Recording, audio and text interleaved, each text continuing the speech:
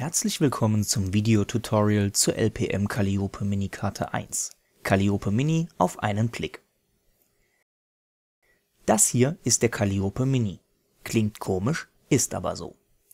Der Mini ist ein Mikrocontroller, der von der Calliope G GmbH produziert wird. Mit ihm sollen Grundschüler zukünftig an Grundlagen der Informatik herangeführt werden.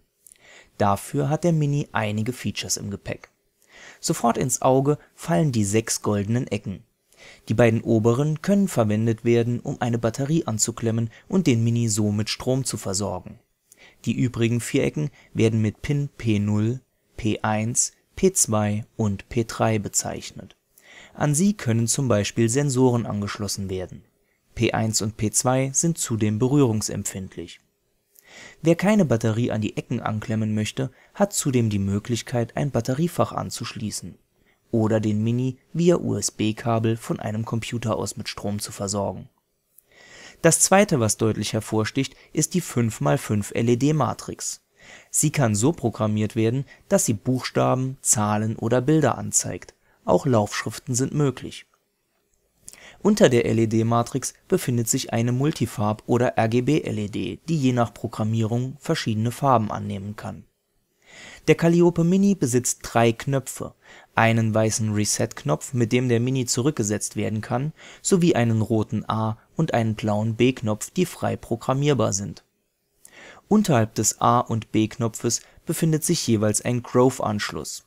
Dort können Peripheriegeräte wie Sensoren angeschlossen werden in einer zukünftigen Version des Mini sollen die Positionen der Grove-Anschlüsse und des A bzw. B-Knopfes ausgetauscht werden, damit man diese besser erreichen kann.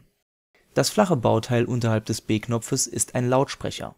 Links neben dem B-Knopf befindet sich ein Mikrofon, das Töne oder Sprache aufnehmen kann.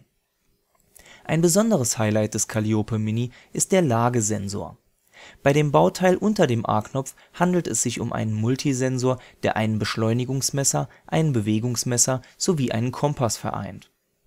An dem zweiten und dritten Pin unter dem Wort Prozessor lassen sich bis zu zwei Motoren an den Mini anschließen. Zusätzlich verfügt der Calliope Mini über Bluetooth, um mit anderen Geräten zu kommunizieren. Die Rückseite des Mini ist beschichtet und kann beschrieben werden ein Kind kann hier beispielsweise seinen Namen darauf schreiben, um ihn zu erkennen. Wie Sie Ihren Mini programmieren, erfahren Sie im Videotutorial zur LPM Calliope Mini Karte 2. Wir wünschen Ihnen viel Spaß mit dem Mini. Seien Sie kreativ